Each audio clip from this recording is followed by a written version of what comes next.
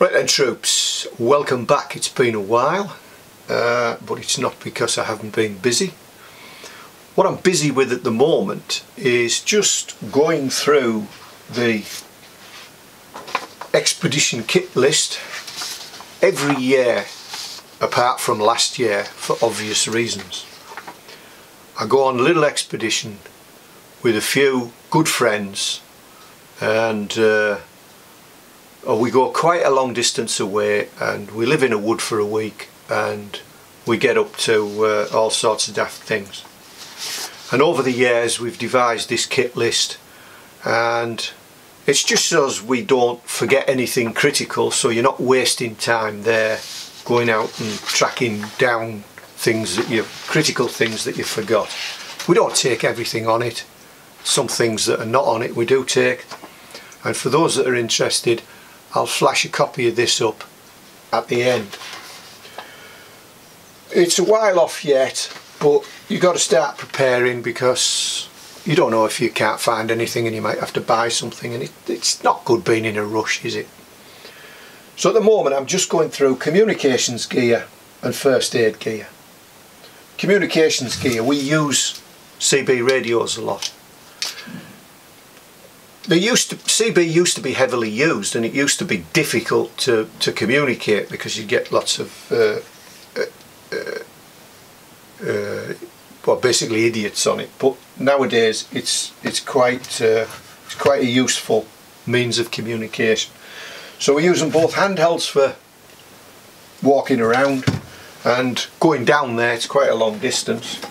We we have a CB in the in the vehicle so I might go through that on a separate video because it is quite it's quite interesting and it's quite useful. It's alright having your mobile phone isn't it? But uh, mobile phone you you're relying on a lot of other things to work. The other thing I'm looking at at the moment is first aid. Now on a big expedition I generally take the expedition first aid kit but uh, I'm going to be a bit tight for space and weight this year because I'm taking the dog with me. So I'll be taking the dog's first aid kit which I used three days ago to take a thorn out of a foot which I couldn't get out with my finger and thumbnail because it was in too deep but I did manage to get it out with the tweezers in there and I've also taken five ticks off of this week already so it's uh, starting to look like another tremendous tick season. But the other first aid kit I'll take will be an amalgamation of these three and the one in the uh, the one in the vehicle already uh, as the as the camp first aid kit. We're never in the UK. You're never that far away from civilization, so it's just first aid. It's not uh, surgery or anything. Anyway, so that's just what I'm looking at at the moment. But I'm going up to meet with some of the guys now uh, uh, at Manticore Knives place. Uh, he's a good friend. He has always been with us. Uh, he's a blacksmith a knife smith and a master of many other trades as well. So he's is he's a really good guy to be going out bushcrafting with.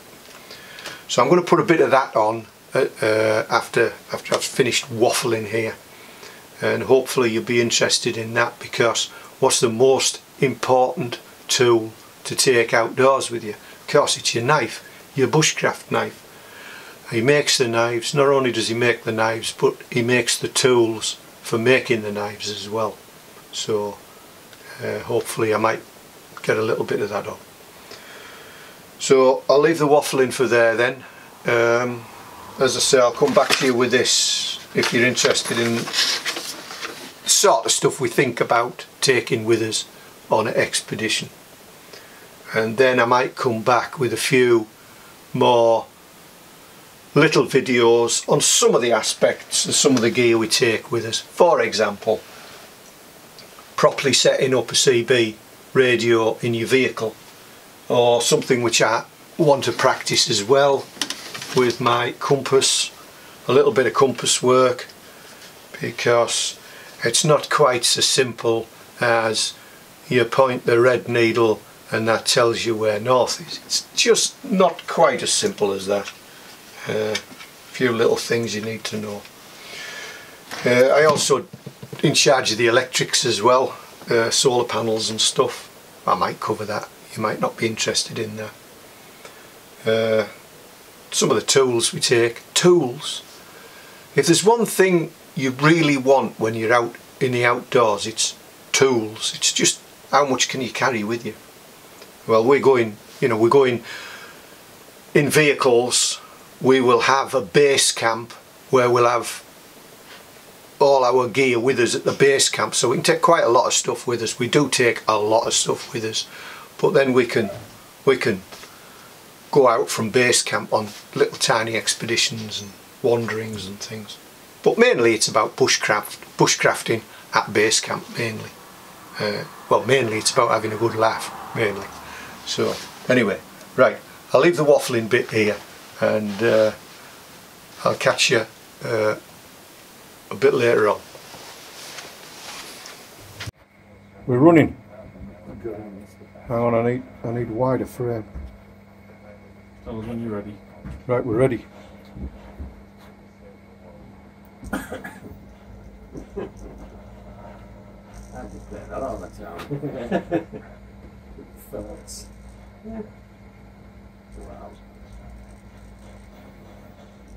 Would hurt if you put your finger on that, that, wouldn't it?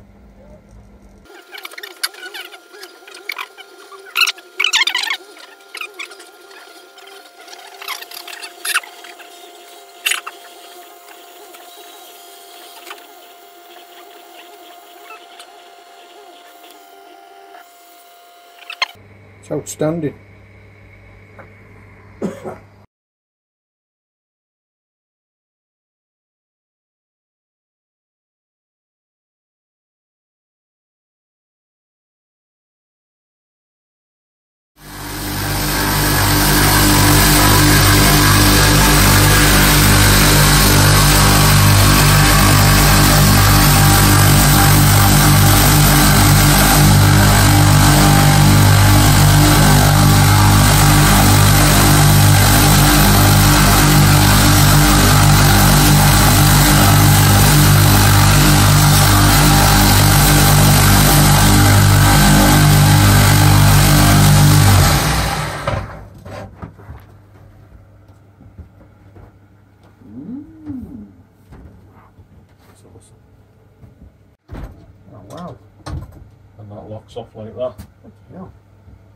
Stable, that's it. I haven't put pictures of this one online yet. Um, so that's still Yeah. still not an advertised model yet. What's the benefit of? Um, because when you're doing like sort of your, your back edges and things like that, if you tilt to the side and you've got your tool shelf in there, um, the same as we're doing, you would is you'd be able to gain a 90 degree profile to your knives all the way around, which is easier than doing it off a belt. Yeah, It yeah. travels down all So you that. get the spine perfectly flat Yeah. on the back. Yeah. Yeah. Do you have something behind then to support the? Belt? Yes, yeah. So there'd be a platen similar to this, the metal plate, Ah, right, okay um, then. Ah, which yeah. goes in and out. That Yeah. one, at the present moment, is um, doesn't have it on. It's still under the bench there. Ah, okay. But uh, you can use it without that for doing more of your convex edges. Yeah, So the belt gives a bit as you push in, Yeah. um, which is, you could use that on anything like boy knives. Some people use the top bit anyway. Yeah. Um, but uh, I normally wouldn't use. Obviously, this is just a quick demonstration for the for the video, but I normally wouldn't use an aluminium oxide belt for grinding the metal. I'd normally use one of the blue ones or the yellow ones, the Trizacs, um, because they're much uh, they're much stronger. They give you a much better, crisper. What, the other ones? Yeah. Oh. So you got like your 2,500 mil ceramics, um, which obviously go on with big um, Beta belt grinder. Your 2 by 72s, um, and then 2 by 60s So you've got your zirconiums, which are blue, Yeah. which I would use for putting like the removing the most meat for putting Yeah. the, the main bevels on. And then you've got your yellows, your oxides um, for sort of just smoothing all the lines out that are created by the Yeah. zirconiums. And then normally I'd use the, the red aluminium oxides for doing the wood because it, uh, Yeah. it does quite a decent job on the wood. But, um, but Yeah, I see. I understand.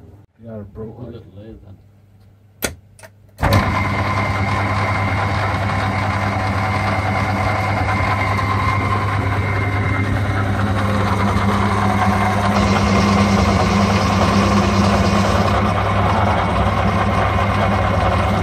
So there, we're crank it in and mill. There you go.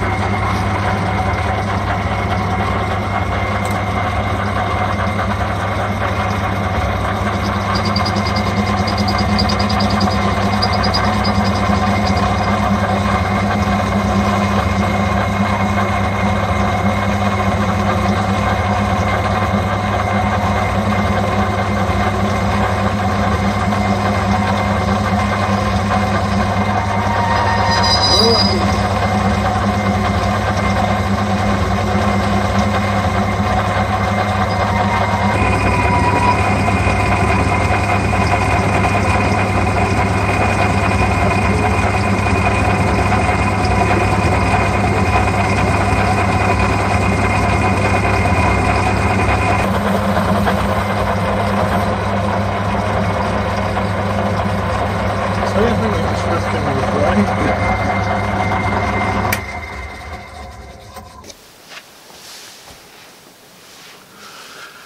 right? So that was just a quick trip up to Paul's of Manticore Knives, and uh, I'm not trying to sell his gear.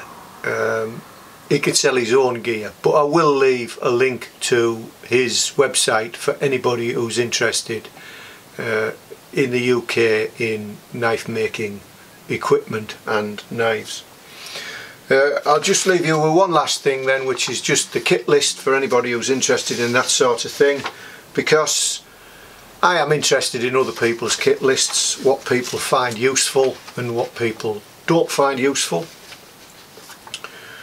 Uh, we're all just learning, aren't we? So, no doubt before we get off on our expedition, you'll uh, see a, a bit of this stuff in action as I'm just just uh, just checking some of it out, particularly the the compass and a, a little bit of map work, and maybe a little bit of first aid as well. Right, I'll leave it there then. Uh, they all tend to drag on a bit too long, really, don't they? Right, I'll catch you on the next one then.